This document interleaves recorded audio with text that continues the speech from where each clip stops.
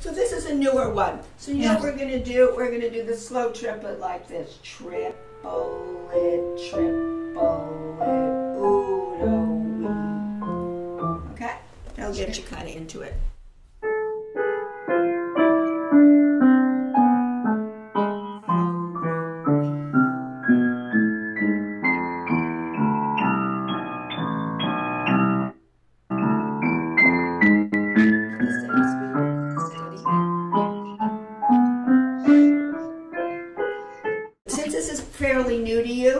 I think for now this is fine.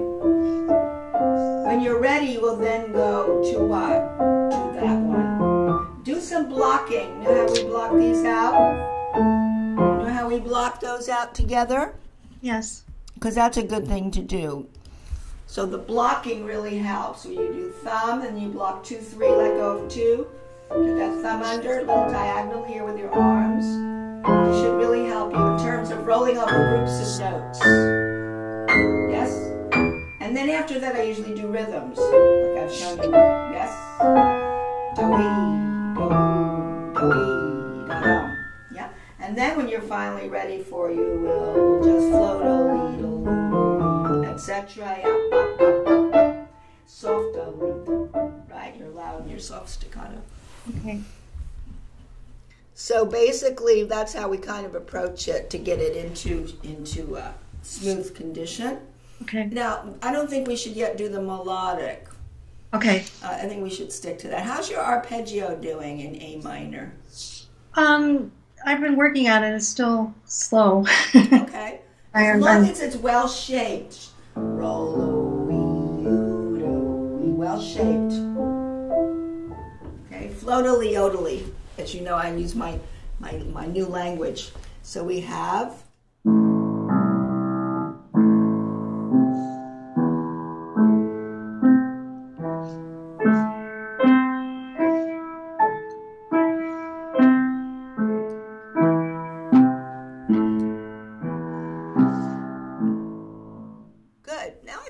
ready for one more octave.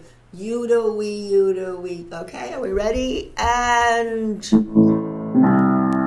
I think we can go to this now though. Roll two, three, four,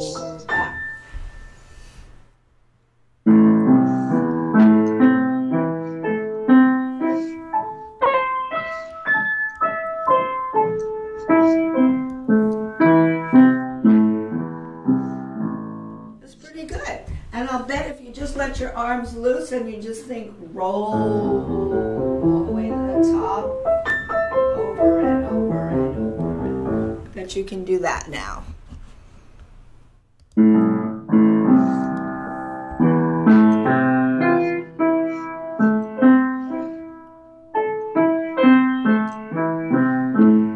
Of course, yeah, I want to make sure. Of course, you have in the left hand five, four, two, one, four, two, one, four, two, one, one, two, three, one, two, three, one, two, three, five. Right? We make sure we have that.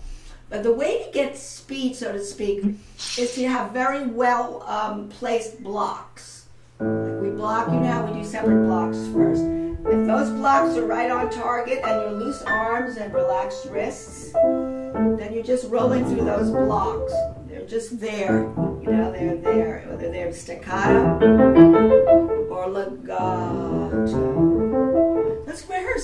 blocks again. The blocks that you do.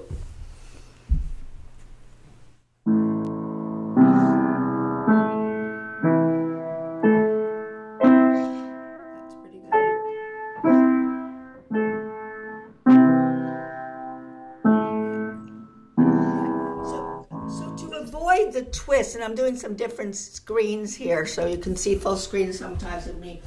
Um, to avoid the twists, which you don't want, like a quiet hand. Now you want to let go of that lower finger because this is your pivot finger right here. And as soon as you let go, your thumb is surreptitiously getting under. Yeah, because if you have any holding too long on these blocks without releasing the fingers that don't need to be played, here we're going over. We don't even have to do the legato. We just want to do the over. But the lateral ones here, you can notice, let go,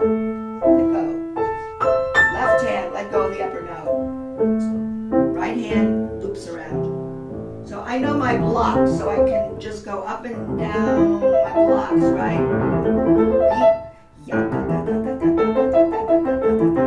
And then just snip or slow mo. But it's all in relation to this being well placed and my arms relaxed, my wrists relaxed, and looping around and not twisting. Okay, try a little bit again your blocks.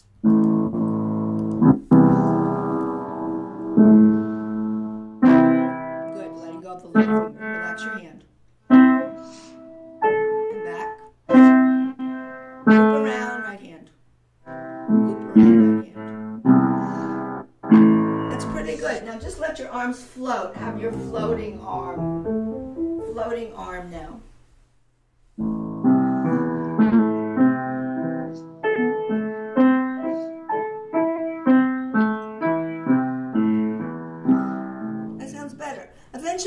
The speed when you just let your arms roll loose into it. Because it's not a matter of strength, is it? It's not strength at all. Or force. It's just letting yourself trust your blocks. Okay? It's coming along well. I don't want to overdo it. Do you want to take a stretch or you're okay? Yeah. Thank you.